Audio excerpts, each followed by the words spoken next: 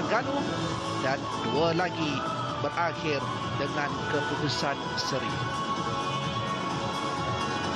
Pasukan manakah yang uh, bakal melangkah ke peringkat akhir segala-galanya akan uh, terjawab pada malam ini di antara JDT dan juga Terengganu sebelum Sabah Terengganu meledakkan 25 gol dalam kempen Unify Piala Malaysia musim ini yang uh, terbanyak di kalangan kesemua 16 pasukan.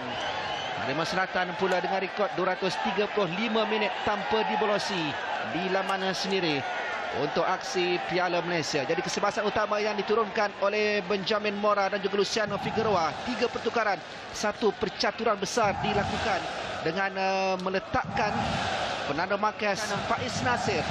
Hari ini bermula lebih awal. Sebelum ini beliau menjadi pencetus kepada game changer. Tetapi uh, sebelum kita mengupas dengan lebih lanjut. Fernando Marquez memulakan aksi untuk 45 minit yang pertama. Saingan separuh akhir yang kedua. Di antara Johor Darul Takzim dan Terengganu untuk aksi Unify Piala Malaysia Gibril sudah pun melakukan larian dan beliau meminta bola. Lorongan dari Faiz peluang untuk Gibril terlepas. Tetapi ada di situ Isyad Razak diselamatkan oleh Farizal. Pada malam ini ini Johor Darul Takzim pula akan melakukan serangan balas Cabrera. Dapat melepaskan diri dari Cabrera kiri untuk JDT. Syafiq semula hantaran ke tengah Marquez. Untuk Najib Insa. Bahkan kepada Azrif. Hantaran Azrif ke tengah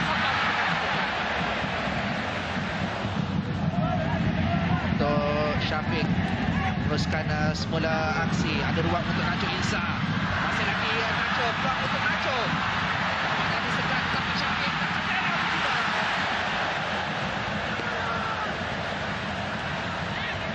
Sarun Safawi Marquez Kualiti yang tinggi untuk mencipta peluang Tapi apa yang berlaku selepas itu adalah mereka menyedari Risikonya apabila gerak serangan balas dilakukan mereka kerana uh, distance mereka dengan uh, pemain-pemain seperti Haris Harun Nacho Insa masih mempunyai banyak masa.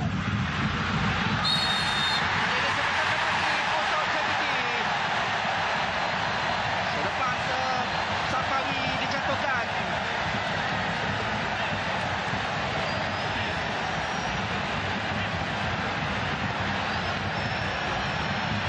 Ya, sekali lagi yang kita lihat bagaimana tidak jelas ya adakah benar uh, Faiz Nasir uh, menyentuh ya uh, adik uh, Selepas sepakat ini. Dari jaringan untuk Johor Takzim Memadam kelebihan Terengganu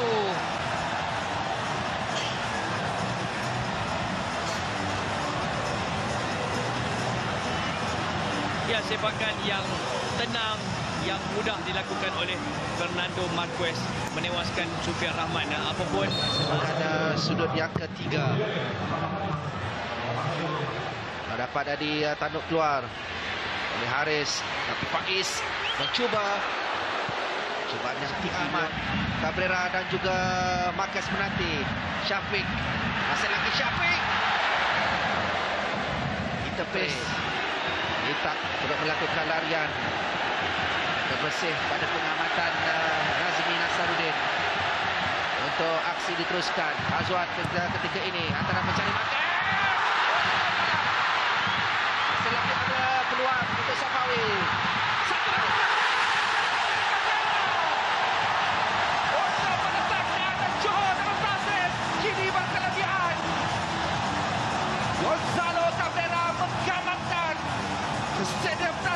Haji Hassan Yunus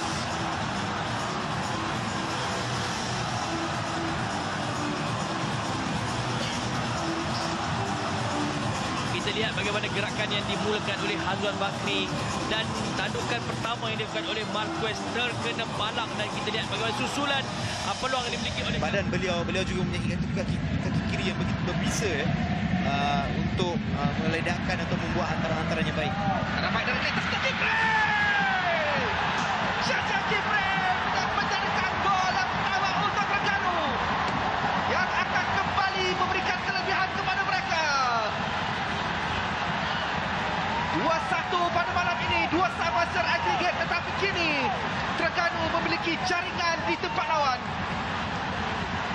Satu jaringan yang cukup penting dan juga lihat bagaimana hantaran yang cukup berkualiti dilakukan oleh Lita di belakang dua pertahanan iaitu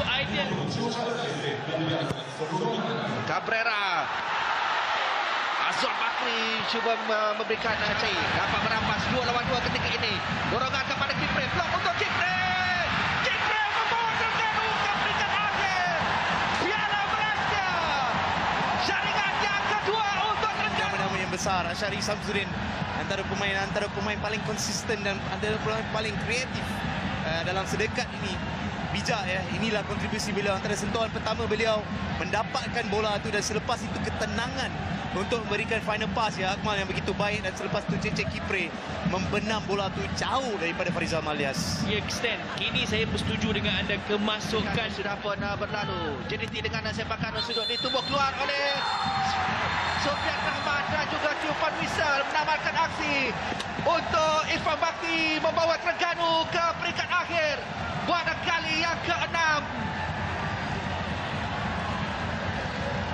Kegembiraan buat sang penyu pada malam ini nampaknya Akmal. Ya memang um, cukup puas uh, Irfan Bakti pemain-pemain Terengganu uh, dapat uh, melayakkan diri ke perlawanan akhir beraksi di gelanggang yang cukup sukar buat mana-mana pasukan. Tahniah buat Irfan Bakti dan seluruh uh, pasukan Terengganu yang telah berjaya menempatkan diri ke dalam perlawanan akhir.